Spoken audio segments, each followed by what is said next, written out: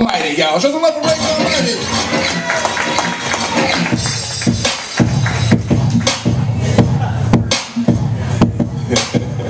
Fuck you. All right. All right. It's Valentine's Day and shit.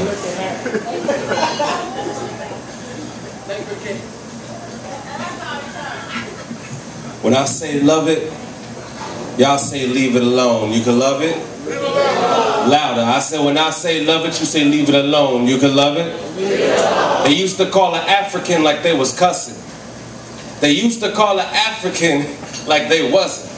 Said she had a type of dirt that soap can't wash, but she had a type of pain that just won't stop. She tried to make confidence the color of dandruff. She flat ironed her lies and permed her answers. And despite all the manufactured poisons she used to tamper with the canvas, still the only compliment she ever landed was, You're pretty for a dark girl trying to describe beauty with such ugly words, but you are what you speak. My Bonita Applebum, Cocoa Brown Sweet was treated like a lower life form amongst yellow bones and willingness-minded, mindless niggas that'll never know the perfection and the complexion. But when she was ready for her first and last lesson, that's when I stepped in.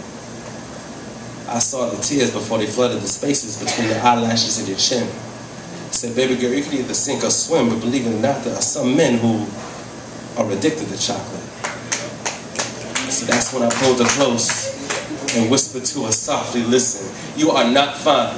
You are not fly, you are not beautiful, and you show as hell ain't cute. You are the motherfucking truth, and don't let anybody tell you opposite. See, not too many people can handle chocolate truth, but I can. So I decided to write this poem on every inch of her body with my hand, leaving no punctuation, because I don't plan on stopping, but the way her chocolate legs is wrapped around my waist to make an exclamation point, and she eagerly puts my exclamation point into her destination point. But the first lesson is patience.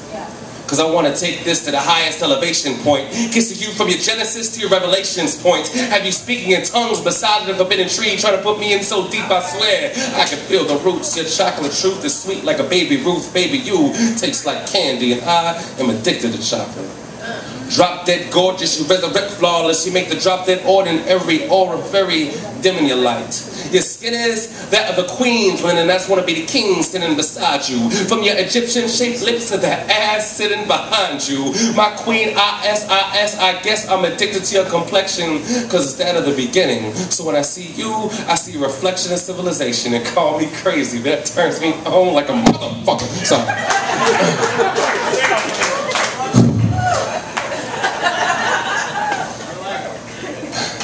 I really, really didn't mean for this poem to turn so explicit. But when I start thinking of flawless dark chocolate, I start thinking of hardness in your cat, making muscles retract and relax, come to you numb from your feet back, make it feel like your legs got detached. Lieutenant Dan screaming, damn, my spine is with the Holy Ghost. Body bending like the exorcist, I'm moving to the next position like we practice this shit, and I ain't done, so we ain't finished. So this is just the beginning, cause me and your lips is like Popeye and spinach. Keep on kissing, you can see how strong you get it, how long you get it. I'm just trying to distract you from the bullshit and remind you what it feels like to be a woman. Remind you that your beauty is timeless. Remind you that there are men who would die to have your chocolate truth leave Hershey's kisses on third eyelids. But some dudes are prolific, some are pro-ignorant.